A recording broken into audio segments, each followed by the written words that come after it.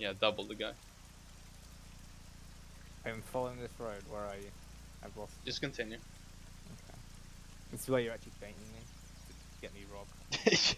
yeah, because I actually took the time to wait for your fucking 10k in cash.